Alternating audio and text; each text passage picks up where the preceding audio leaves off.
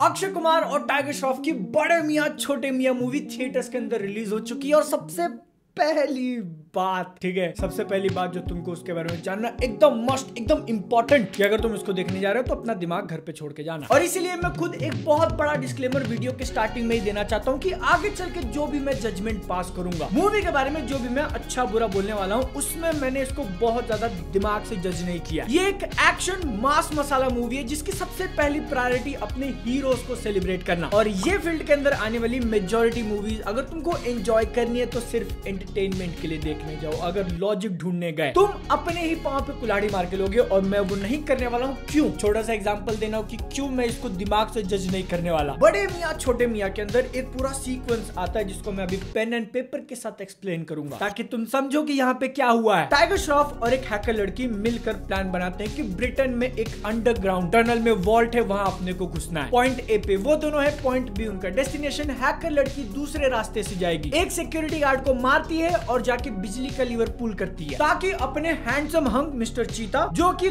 दूसरे रास्ते से आने वाले हैं अंडरग्राउंड टनल सबवे चलती है। जब ये लीवर पुल करेंगी तो सबवे की स्पीड स्लो हो जाएगी। ऐसे में मिस्टर टाइगर को कुछ छह दस सेकंड मिलने वाले हैं और उनको पटरी पे उतर के भागना है। ट्रेन के साथ रेस लगानी है और एक ऐसे प्लेटफॉर्म पे पहुँचना है जहाँ पर आम लोग नहीं जा सकते, लेकिन वो चले जाते हैं। और अपने डेस्टिनेशन इस पॉइंट नंबर बी पे पहुँचने के बाद वो लड़की दरवाज़ा अंदर से खोलती है। तुमको समझ में आया? यहाँ पे क्या हुआ? समझेगी नहीं तुम। ये सब करने की क्या ज़रूरत थी जब तुम एक गार्ड को सुलाकर डायरेक्टली पहुँच सकते थे तो? या फिर शायद मैं ही गधा हूँ, पिक्चर ढंग से देखा नहीं, कुछ मिस कर दिया तो उसके लिए आके गालियाँ दे दो। लेकिन एक चीज़ को लेकर मैं प्रिटी कॉन्फिडेंट हूँ कि मूवी तुम्हारे इसी बेवकूफ़ी का फ़ायदा उठाने की कोशिश करती है फटाफट फटाफट कुछ भी दिखा दो। लोग नोटिस नहीं करेंगे तो क्वेश्चन कैसे आएँगे? जैसे की उसी टनल वाले एक्शन सीक्वेंस में एक मोमेंट बिल्ड किया जाता है हीरो की एंट्री ये! हीरो लोगों के कान में वो मशीन लगा हुआ है जिससे अंदाज़ा है कि किसी की एंट्री होने वाली है। डायलॉग मारा है उसने जस्ट। लेकिन उनके आसपास सर्कल में जो विलन लोग ऐसा बंदूक पकड़ के खड़े हैं उनको एकदम से वाइब्रेशन फील होने लगती है कि ओ माय गॉड क्या हो रहा है? एक बंदा जाता है दीवार को ऐसे छू कर फील कर रहा है। आई वाज लाइक डैम क्या करने वाले हैं ये लोग? मिस्टर बड़े मियाँ दीवार की उस साइड से बजूका चलाते हैं। बम बड़ा उड़ता है दीवार में छेद होती है वो अंदर आते हैं। लेकिन उन्होंने उसको वाइब्रेट कैसे करवाया? 20 मिनट तक मूवी के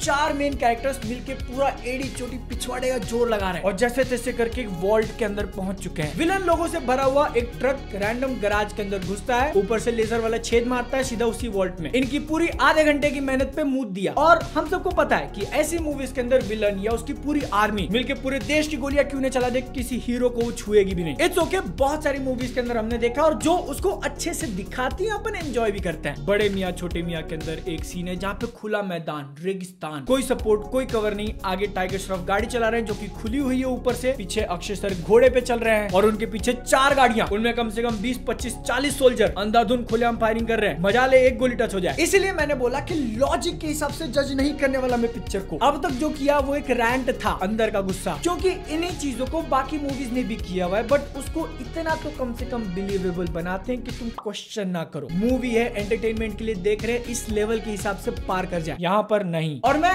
इतना फास्ट एंड फ्यूरियस क्यों हूँ? क्योंकि अक्षय कुमार उनकी पिछली कुछ मूवीज़ नहीं चल रही जिसमें से कुछ एकदम खराब भी थी। लेकिन इसी फ़ेज़ में एक दो अच्छी मूवीज़ भी निकाली उन्होंने और वो नहीं चली। इसलिए थोड़ा बहुत ऐसे दुख लगा था। आई वॉज़ एक्सपेक्टिंग कि ये शायद उनकी कम मूवी होगी। नो ना, नहीं। क्योंकि जो चीज़ बड़े मियाँ, छोटे मियाँ का सबसे मेन सेलिंग पॉइंट हो सकता था, इसके दो मेन लीड अक्षय कुमार टाइगर श्रॉफ के बीच की केमिस्ट्री पिक्चर का नाम ऐसा रखा हुआ है जिसकी ऑलरेडी एक हिस्ट्री एग्जिस्ट करती है। उस लेवल पे भी चल के अगर एक सीरियस के बदले थोड़ा बहुत funny light hearted action movie बनाते, जिसमें भले ही लॉजिक काम नहीं कर रहा, लेकिन दोनों हीरो के बीच का जो बैंटर है, एक दूसरे की बेजती कर रहे हैं वन लाइनर मार के हंसाने की कोशिश कर रहे हैं अगर ये काम कर जाता तो भी मैं पिक्चर रिकमेंड कर देता। बट नहीं आई मीन दे ट्राइड उसमें से 10-15 परसेंट ही काम करता है। और ये भी आफ्टर कंसिडरिंग जो उन्होंने छोटे बहुत मीम के रेफरेंसेस मारे कि अक्षय कुमार का ऐसे पोज में खड़ा हो जाना। यही वो कुछ थोड़ी बहुत चीज़ें हैं जो काम करती है। अली अब्बास ज़फ़र जो कि इसके डायरेक्टर है, उन्होंने पहले काफ़ी सक्सेसफुल मूवीज़ बनाई है बट इसके अंदर मैंने जितनी पिक्चरें देखी है one of his weakest work बहुत जगहों पे एक्शन क्लियर नहीं है, वो तो कंप्लेन नहीं करूँगा मैं। जब normal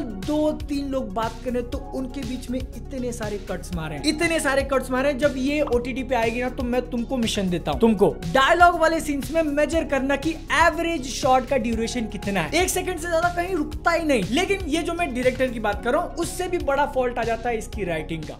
is just bad story और सिचुएशन से लेके इसके डायलॉग्स एवरीथिंग बैड इंटरनेट पर अगर किसी को थोड़ा सा बजट देकर पैरडी बनाने बोल दोगे ना, वो इससे बेटर कर लेगा। बेटर से याद है टाइगर श्रॉफ की बात नहीं करी ना आई एम सरप्राइज़ आधे घंटे पहले पिक्चर देख के आया जितना मेरी मेमोरी में वो आया है टाइगर श्रॉफ के एब्स नहीं दिखे। हाँ बॉडी नहीं दिखाई है, पूरी पिक्चर में। मैं सो रहा था। सच बताऊँ, एकदम ऐसा कन्फेशन करना हो तो मूवी के लास्ट में जब एक्शन चले जा रहा है, चले जा रहा है, वो रिपीट पे वही चीज़ दिखा रहे तो आँखें मेरी ऐसे ऐसे हो रही थी। इसलिए नहीं की मैं टायर्ड हूँ। कल मैंने लगातार तीन पिक्चरें देखी है बैक टू बैक इतना होने के बाद रात के दस बजे तक देखे जा रहा हूँ, फिर भी ये नींद वाली चीज़ नहीं हुई। यहाँ दिन की पहली मूवी में ऐसा हो रहा है। और अब जब बात टाइगर श्रॉफ की निकल चुकी है तो उनके साथ जो प्रोडक्शन हाउस है, पूजा एंटरटेनमेंट तुमको नहीं पता ये लिंक कहाँ से लगा तो टाइगर श्रॉफ की पिछली मूवी सर्च कर लेना। ग्रीन स्क्रीन और मुझे लगा कि वो ये गलती दोबारा तो कभी नहीं करेंगे। नहीं एक्चुअली इस पिक्चर में कहीं ग्रीन स्क्रीन दिखता नहीं है बट एक शॉट है जिसमें दोनों रात के अंधेरे में घोड़े चला रहे हैं। और वहाँ पर मैंने नोटिस किया कि चेहरा और कपड़ों के ऊपर ग्रीन का जो एक टिंट है ना वो थोड़ा ज़्यादा लग रहा है। शायद अच्छे से मास्क आउट नहीं किया फिर से ग्रीन स्क्रीन में कमी। लेकिन फिर मेरे दिमाग में ऐसे बिजली की एक करंट दौड़ जाती है और मैंने बोला की ये शॉट ट्रेलर में देखा था। मैंने जब इसको ट्रेलर में देखा था तो ये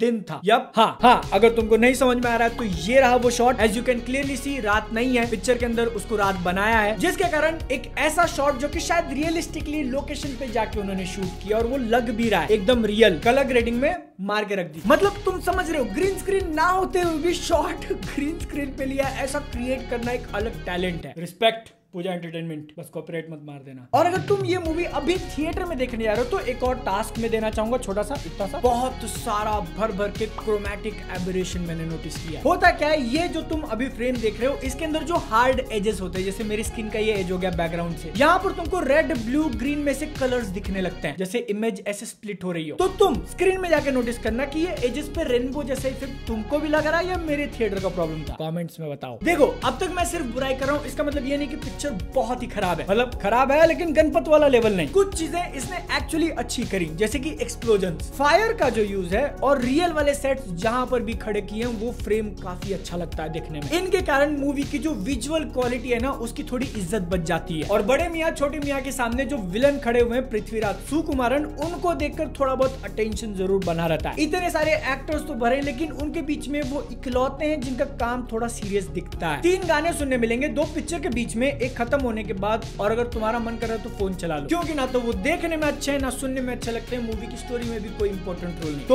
अभी तक अगर तुमको क्लियर नहीं हुआ मूवी की स्टोरी खराब मूवी के डायलॉग्स खराब, इसके लीड एक्टर्स की एक्टिंग नॉट गुड उनके बीच का banter not good action decent है, जिसको देखने में थोड़ा बहुत मज़ा मिल जाएगा अगर if you are switching off this thing हो गया भाई मेरा, बस।